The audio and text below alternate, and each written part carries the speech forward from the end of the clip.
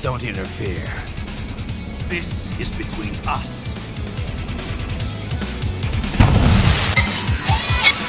Let's dance!